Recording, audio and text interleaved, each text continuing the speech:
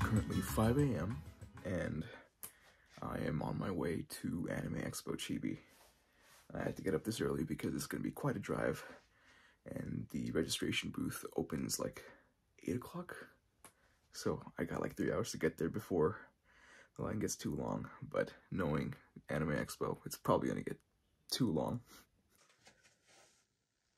Let's go. Apparently there's no So that's where I am currently. It's a good thing I came early. Found it. This was my first ever official anime expo that I've been to. I tried to uh, get the one in 2020, but unfortunately, you know what happened that year. So yeah, I was kind of excited and ready to party. Every vlog needs an obligatory walking shot. I don't know why we do this. The bright side, I'm getting my early morning workout. The downside to getting there early is that I had to wait a couple hours before the registration booth decided to open. All tagged. Even though this was a smaller event, the line got incredibly long. And I had to wait there for another hour.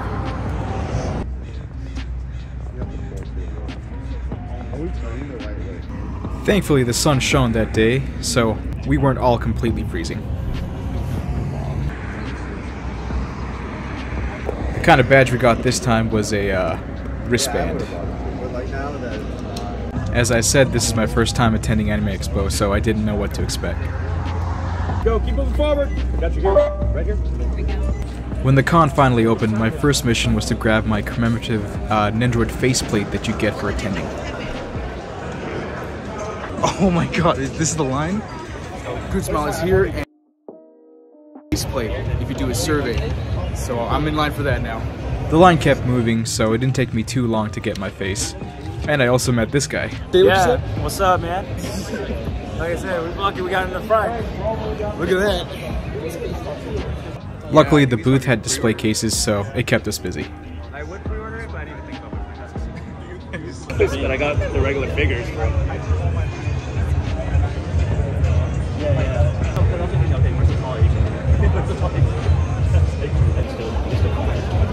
The line kept getting longer behind us as we retreated to more display cases. As we were passing by the ridiculously priced bunny suit Ryoku, I found something that I've wanted for a while. You'll be added to the collection, Melia. I promise. Thank you. It's already crazy. so this is I also checked out the Good Smile shop to buy myself something. Oh my god, look at this fucking huge ass bag Good Smile gave me just for one Nendroid. Is that a fucking Mio Dakimakura? I came across these beautiful art plates that this merchandiser was selling. I would have got one myself if they didn't cost a pretty penny. There was a couple Itasha cars at the show too. Oh! God damn, son! My finger was in most of that shot.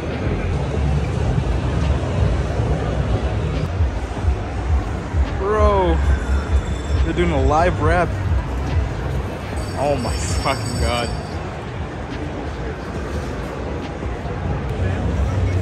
That's something I didn't expect to see. It's pretty easy to be overwhelmed in here. A lot of people. I've seen a couple vendors that I've known about outside of Anime Expo. It's happy to see them here because that means I can buy their merch without having to pay shipping or taxes.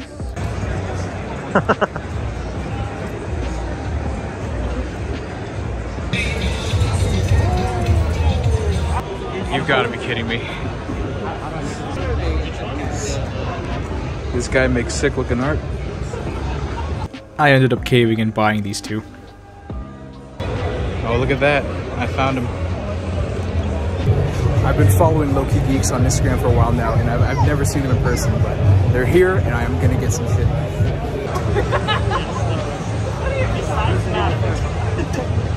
After visiting Low Key Geeks, I decided to head over to the Artist Alley. While on the way there, I met Aaron and Annie. Certainly more packed than Ronin Expo. and a lot more stuff here too. This is the Artist Alley. And yeah. I really didn't have much footage for this part. I just went around. A lot of people were there, and I bought myself this jet tag. I also met this kind gentleman.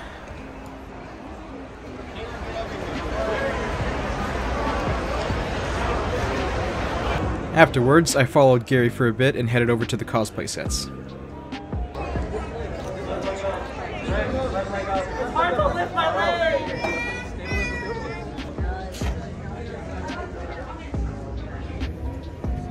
As I walk these streets, I suddenly come to the realization everyone is trash, including me.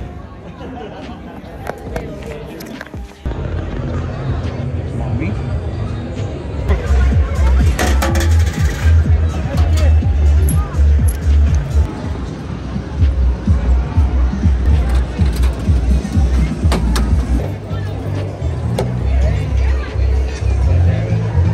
Of course, like the weeb trash I am, one of my missions was to bring home anime figures. A showcase of my loot will be at the end of this video. While looking around, I met this lovely lady cosplaying Luigi. And the chief himself decided to pop in. My phone was running low, so I decided to take a rest. It was kind of surreal just watching all these people walking by, different walks of life coming to just one convention, and it was the smaller version too. The phone wasn't done charging, so I decided to crack open my Weiss Schwarz packs.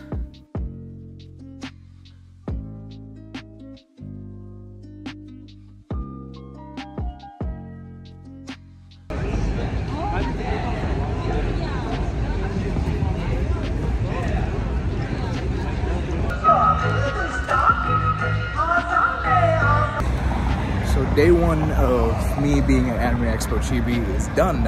Tomorrow is going to be more focused on trying all the food trucks that is going to be there.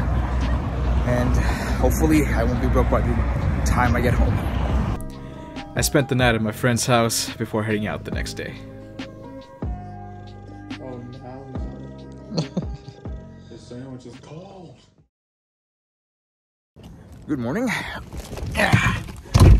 Day two. And of course, the line was forming, but uh, not a lot of people this time. Pope Thanos decided to make an appearance today. Trucks aren't open yet, so I'm gonna kill some time in the main hall. Look at that, the wrap's all finished. The food trucks were finally open, and I opted to go with this one first. I opted for the Vietnamese Wagyu steak fries, and I gotta say, they were delicious. I decided to let my food digest a bit, so I took a walk around the Artist Alley again.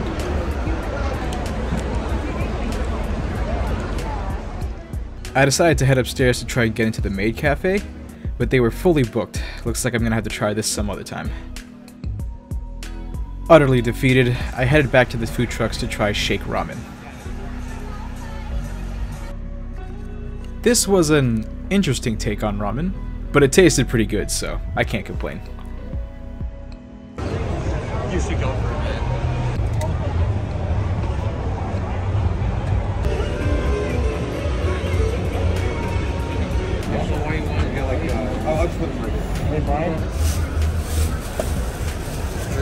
Thank you. Have a good day. You too, thanks.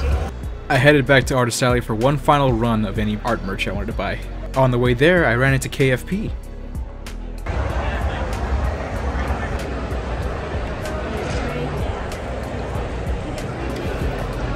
All right, I think I've exhausted everything I can do here. It's time to head home.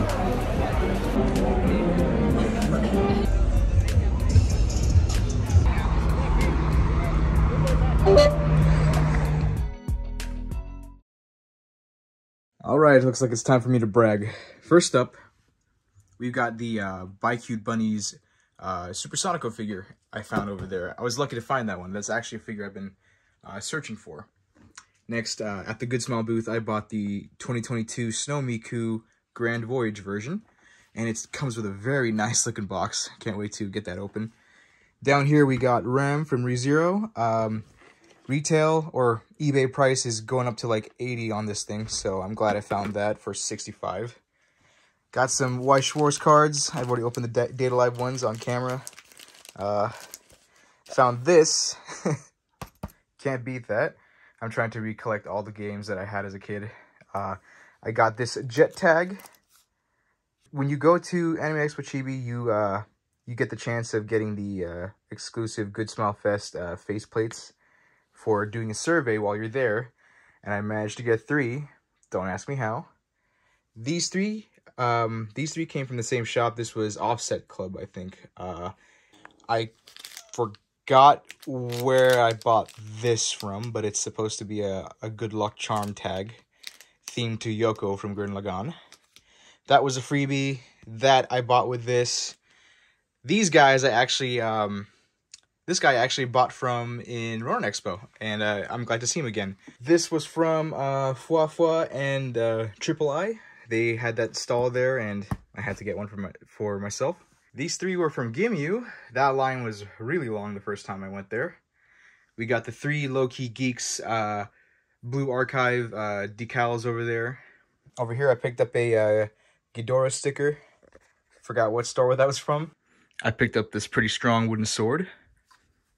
This is by far my favorite purchase from uh, from Anime Expo Chibi. you can thank these guys. And another article of clothing. That was from Low Key Geeks. It's a little tight. They said this was a 2X. Doesn't feel like a 2X. But I guess I just got to break it in. Let's see whose dogs have been abandoned in this little game.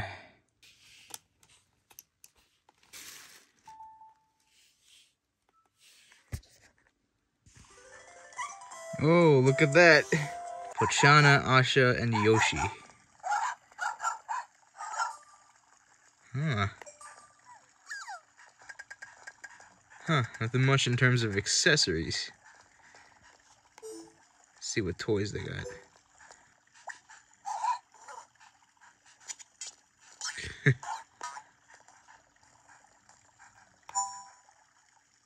Fuck.